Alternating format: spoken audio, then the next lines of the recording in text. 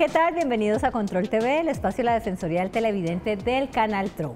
Hoy con un tema bastante interesante y es que el pasado mes de febrero nos llegó la inquietud de un televidente en Cúcuta donde decía que no le parecía que el canal regional transmitiera tanto por la página web del canal como por su primera pantalla la explosión de un artefacto en Cúcuta.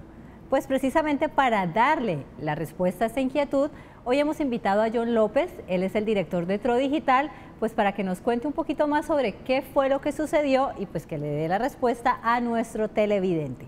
John, buenas noches y bienvenido a Control TV. Hola Mayeli, muy buenas noches. Muchas gracias por la invitación nuevamente aquí bueno, John, ya llevas bastantes eh, días acompañándonos en este espacio y qué rico que pues le tengamos la posibilidad de tenerte para contarle a los televidentes pues de primera mano qué es lo que, qué es lo que hacen ustedes, ¿no? ¿no? Muchas gracias a ustedes por este espacio porque realmente es la única forma que tenemos de poderles responder las inquietudes a los televidentes y aclararles las situaciones como esta que estás planteando en este momento. Bueno, John, pero contémosle primero a los televidentes un poquito porque también te hemos visto en el noticiero eres pues un reconocido periodista que ha estado con nosotros en el canal por mucho tiempo, estás presentando eh, Oriente Noticias en la mañana, estás con la dirección de Tro Digital. Sí, así es. Bueno, este año, el 2020, llegó con muchos cambios. Uno de ellos fue eh, que pasara del área de noticias a dirigir el tema de Tro Digital, el tema de las redes sociales, nuestra página web, las plataformas alternativas que tenemos en el canal TRO, por eso pues ahora estoy eh, allí en la dirección de esa área, pero pues sigo ligado con el noticiero, ¿no? En el tema de la presentación de los noticieros. Y de una u otra manera en TRO Digital también hay un tema informativo bien interesante, ¿no? Claro, porque es que para nadie es un secreto que lo que más consume eh, la comunidad en general son las noticias y basado en las noticias es que nos movemos también desde la parte digital, porque nosotros eh, queremos darle al televidente pues lo que él consume y sobre todo, más que lo que él consume, eh, mantenerlo al día a día y al minuto a minuto de lo que está ocurriendo. Así como se hace del sistema informativo del canal TRO a través de la primera pantalla, pues nosotros también queremos llevarlo y poder eh, llevarlo a todos nuestros seguidores, lo que está ocurriendo en materia informativa en el Gran Santander. De por sí ustedes ahorita están haciendo un proyecto muy interesante y es un noticiero digital, ¿no? Que ya es como tal, tiene un, un horario y ya hay como televidentes ahí, bueno, no solo televidentes, también ya usuarios en las redes muy pendientes de eso. Sí, Oriente Digital es un proyecto muy bonito porque es un proyecto hecho realmente con recursos digitales que nos proporcionan los mismos seguidores o los mismos televidentes del canal TRO. Es un noticiero diseñado única y exclusivamente para las plataformas digitales del canal y que está creado con aquellos videos, fotografías, todo aquello que se encuentra en la gente que se convierten finalmente en nuestros reporteros, en los reporteros del canal TRO. Entonces lo que hacemos es tomar todos esos insumos de nuestros multiplicadores o de los televidentes que están en cualquier parte del Gran Santander y convertirlos en noticias. Eso es lo que hacemos en Oriente Digital. Ok, interesante. Pero bueno, John, hoy estamos aquí sentados porque tenemos pues una inquietud de un televidente y es relacionada con una transmisión de un, de un, explosivo, ¿no? ¿Qué fue lo que pasó e, en, esta, en, este día?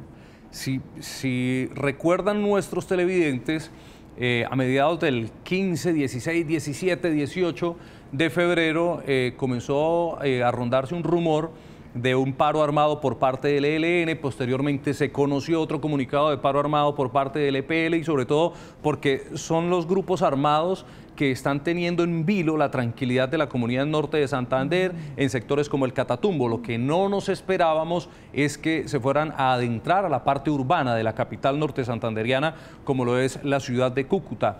Lo que ocurrió ocurrió el 17 de febrero, en horas de la mañana, ya se habían conocido que se habían instalado un artefacto explosivo donde había resultado herido uno de los policías que había ido a atender el llamado de la comunidad, eh, ya hacia la salida de la vía eh, que comunica Cúcuta con el municipio de Tibú, también habían activado un artefacto explosivo que había dañado completamente eh, la vía de acceso a la carretera. Y ese era el tercer caso que se conocía en la mañana de un artefacto explosivo. ¿Qué hizo el canal TRO? De manera articulada desde la dirección del sistema informativo del canal, desde la dirección de TRO Digital, eh, se quiso llevar minuto a minuto y detalle a detalle lo que estaba ocurriendo con ese artefacto que estaba poniendo en riesgo la integridad física de muchas personas porque fue muy cercano allí a la parte céntrica de la ciudad de Cúcuta. Y bueno, y las personas, la gente de la comunidad sabía de la existencia de ese artefacto. Claro, es que qué es lo que pasa y por qué se toma la decisión de hacer la transmisión. Porque las autoridades nos confirman que está controlada la situación y que el artefacto se va a detonar precisamente de manera controlada, donde no va a haber riesgo de que ninguna persona va a salir lastimada ni ningún agente. Bueno, los riesgos existen sobre todo para los, eh, el personal de antiexplosivos de la Policía eh, Nacional. Ustedes están viendo las imágenes, es ahí justo el momento donde ya estaba todo acordonado, no había ninguna persona cerca al lugar y lo que se ve al fondo son los encargados y los expertos de antiexplosivos. El explosivo estaba justo ahí donde comienza el puente peatonal o las barandas amarillas que pueden estar viendo los televidentes. Por eso se tomó la decisión. ¿Qué pasó? Estábamos transmitiendo en vivo lo que estaba ocurriendo. Ya sabíamos que iba a haber una explosión controlada, no sabíamos, era el momento exacto en que iba a ocurrir esta explosión controlada. Por eso no había ningún riesgo de que al aire fuera a salir alguna imagen de algún herido, de alguna persona que resultara víctima con, respecto a eso.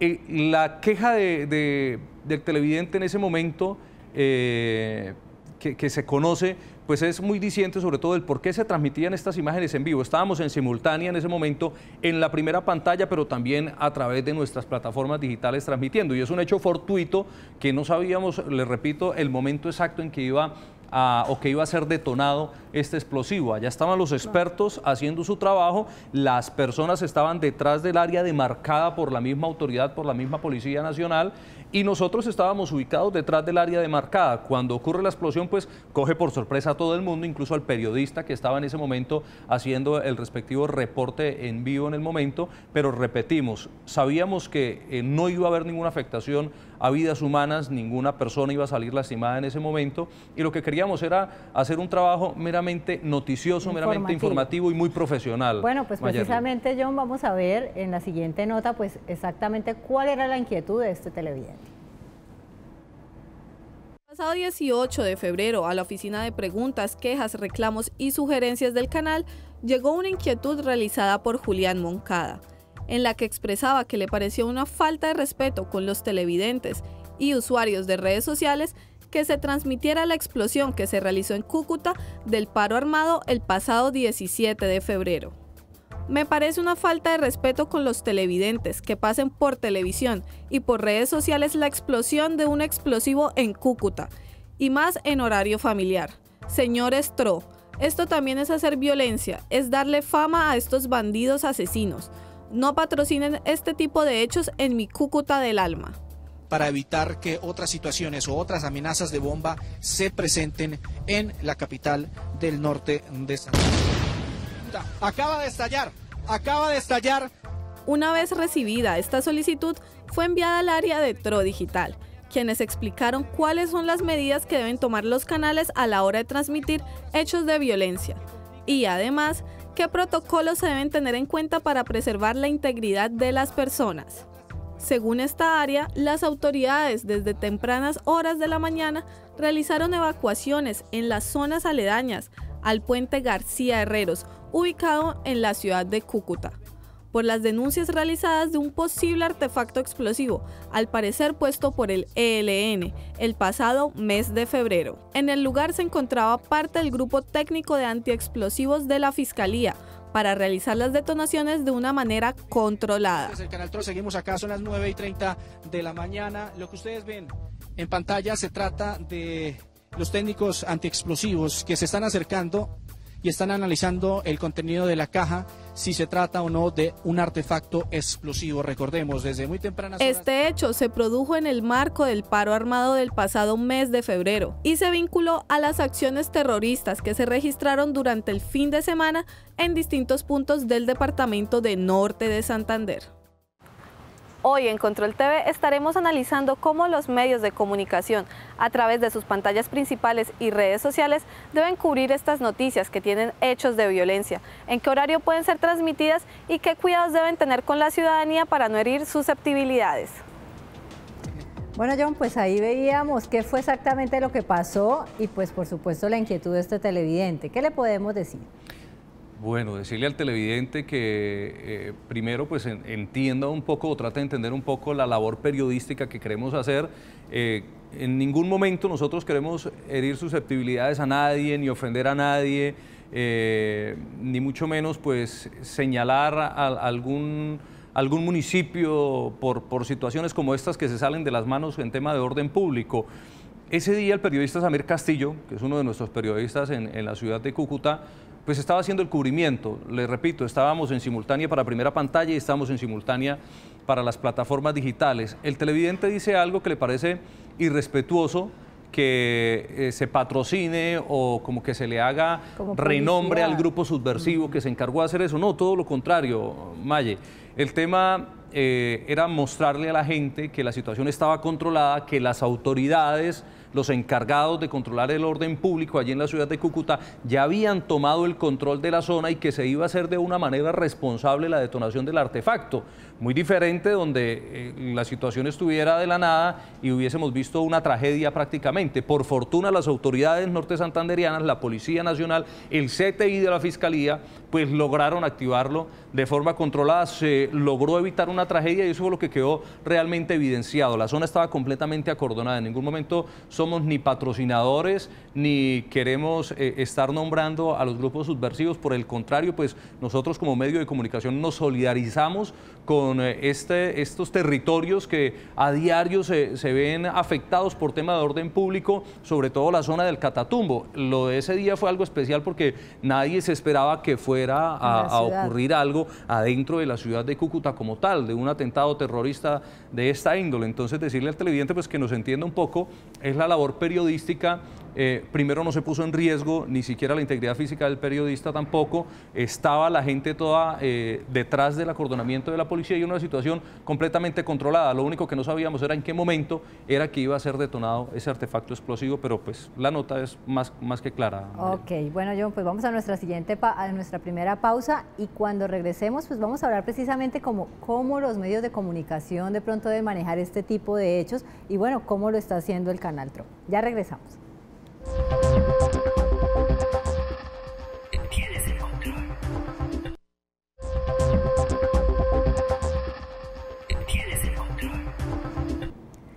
Retornamos a Control TV, el espacio de la Defensoría del Televidente, hoy hablando sobre un hecho puntual que sucedió en la ciudad de Cúcuta el pasado mes de febrero y fue la transmisión de una explosión eh, que se registró en esta ciudad de Cúcuta. John, hablábamos en el primer segmento de que precisamente pues estos hechos eran controlados, se sabía lo que estaba pasando, pero venimos de un, país violento donde por muchas décadas pues se cubrían este tipo de hechos y era como un tema muy cotidiano. Hoy en día pues gracias a Dios esto ha cambiado y también ha cambiado cómo se está cubriendo actualmente en los medios de comunicación.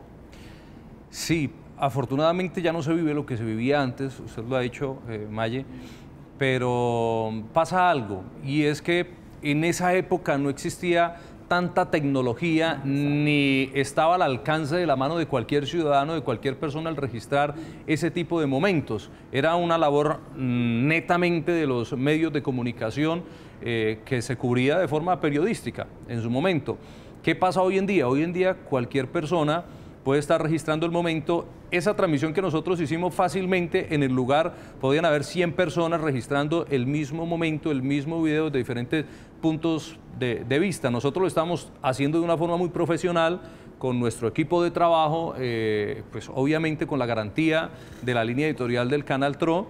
Mucha gente tomó el video y comenzó a replicarlo a través de sus redes sociales y hacer de esto un boom donde realmente lo único que había que resaltar era la labor valiente de los señores expertos en antiexplosivos del CTI y de la Fiscalía que en conjunto a las labores con eh, la Policía Nacional lograron eh, activar ese explosivo de manera controlada y lo que estaba previsto que fuera un acto terrorista para impactar a un cierto número de ciudadanos en, allí en pleno centro de Cúcuta, pues terminó siendo eh, un hecho completamente controlado. ¿Quién triunfó ahí? Triunfaron las autoridades que lograron evitar una tragedia. Eso es lo que, la forma en la que queríamos contar lo que estaba ocurriendo, además de alertar un poco a la gente que vive en los alrededores de esta zona para que la explosión tal vez no lo fuera a tomar por sorpresa. Eso es más o menos lo que se hizo y es importante diferenciar. Eh, a, los seguidores o a la gente que acostumbra a seguir cuentas de redes sociales no oficiales, digo no oficiales porque eh, es muy diferente el, tratamiento que se le puede dar a un acontecimiento netamente periodístico desde una casa editorial, desde una casa periodística como lo es el Canal Tro y sus diferentes plataformas digitales, a como lo puede hacer cualquier persona del común que tal vez no ha tenido una capacitación necesaria y lo único que busca es ganar seguidores eh, con imágenes sensacionalistas o con eventos sensacionalistas como este en este caso. Pues John, precisamente estuvimos hablando con Samir Castillo, el periodista que estuvo este día, pues muy pendiente de toda esta información y él nos va a contar cómo fue la experiencia que vivió aquel día de febrero.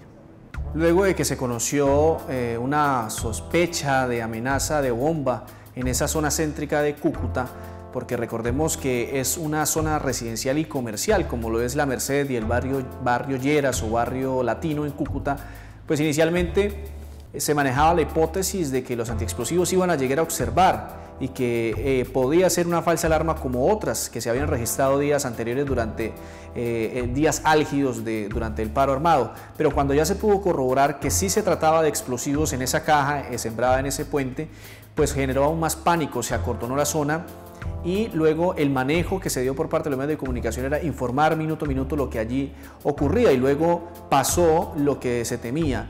Eh, el estruendo fuerte que causó pánico en, los moradores, en los dueños de establecimientos comerciales y por supuesto todo el despliegue que se le dio después para informar lo que pasaba, las afectaciones luego de este, de este estallido. El paro armado consistía en una restricción que hacía el ELN y el EPL porque recordemos que habían decretado los dos grupos subversivos que hoy por hoy tienen confrontaciones armadas en el Catatumbo, tanto el ELN como el EPL. Fueron cerca de cuatro días de paro armado por parte del ELN que restringía toda la movilidad en los ejes viales del norte de Santander, no permitía que las personas se desplazaran de veredas a veredas o de municipio a municipio en esta importante región del Catatumbo, lo que generó también confinamiento de las personas que no podían salir de sus predios, no podían salir a llevar sus productos a Ocaña, que es la segunda ciudad más importante del norte de Santander y en donde se maneja la economía hacia el sur del Cesar de esa manera. Entonces fueron, días eh, de mucho pánico, fueron días de parálisis hasta que el gobierno nacional tomó el control de la zona y pudo permitir el, transporte en estos ejes viales de Cúcuta, la capital del norte de Santander, hacia la zona del Catatumbo. Bueno, los protocolos de seguridad que adoptan los medios de comunicación cuando se presenta un hecho como estos muchas veces son eh, guardar la distancia, tratar siempre de estar al lado de los uniformados de la policía o de explosivos, que son los que inicialmente le van indicando a uno qué hay que hacer cuál es la distancia que hay que guardar en, este caso una amenaza de bomba que fue cierta. Pero eh, digamos las medidas de protección que uno pueda tomar con un chaleco, con un casco eh, en el entendido regional, nacional, mm, casi siempre nunca lo tenemos. Eh, tenemos una zona de frontera que muchas veces cuando estalla la zona de frontera porosa, cuando está el tema coyuntural, vienen medios internacionales, ellos por lo general siempre vienen con cascos o con chalecos antibalas, pero uno acá en, esa, en ese tema está muy desprotegido a la hora de informar un hecho como este. Bueno, John, ¿cómo ustedes están manejando todo este tema informativo ya desde el tema de Tro Digital? Hablábamos en nuestro primer bloque que están muy juiciosos trabajando con este noticiero, pero diariamente están ustedes alimentando las redes con todo lo, que está pasando en, no solamente en la región, sino también en todo el país. Sí, tenemos una ventaja desde la parte digital y desde las diferentes plataformas y es poder llegar eh, de una forma más rápida, más precisa a nuestros seguidores. Es así como la inmediatez nos permite poder eh, tener cierta preferencia por nuestro grupo de seguidores en mantenerse informados a través de las plataformas digitales del canal TRO. Para nosotros es más fácil eh, tomar la información e inmediatamente publicarla en las diferentes plataformas y nuestros mismos seguidores se encargan de compartirlas y de multiplicarlas. Es una ventaja muy grande saber usar las plataformas digitales, pero usarlas de una forma correcta. ¿sí? La inmediatez no nos puede llevar a cometer errores ni equivocaciones o dar datos incorrectos para eh, desconfigurar lo que sería una información mal dada. No, al contrario, nos exige un poco más de responsabilidad, por eso el equipo periodístico de Tro Digital, así como de realizadores y los encargados de generar los contenidos, pues está muy atento. Estamos prácticamente las 24 horas del día con este aparatico eh, estando generando información, mirando qué está ocurriendo en cada rincón del Gran Santander, del territorio colombiano, si es de interés que, que, pueda tener relevancia en el oriente del país. Y bueno, esa es la labor diaria. Prácticamente las 24 horas del día estamos atentos para informar a todos los seguidores. Y es un reto muy interesante porque todo el mundo, como tú decías, ¿no? Cualquier persona coge su celular y informa o puede entrar a las redes que, donde sienta que está bien informado, ¿no? Sí, además de eso que el lenguaje es diferente, cada red social está dirigida a un público diferente, eh, el Twitter es un público muy específico, un público tal vez más exquisito y más curioso del tema noticioso como tal, el Facebook pues... Eh, nosotros tenemos actualmente cerca de 400 mil seguidores en, la plataforma de Facebook, entonces también tenemos que saber cómo contar la, información a los diferentes públicos objetivos. El Instagram, el Instagram es para un público completamente millennial, entonces pues bueno, es cuestión de saber con qué lenguaje y en qué lugar ubicar cada una de las informaciones para saber a qué público o qué público le va a sacar más provecho a la información que le estamos dando. Vamos a nuestra segunda pausa y cuando retornemos estaremos concluyendo este importante tema con John López, director de Tro Digital.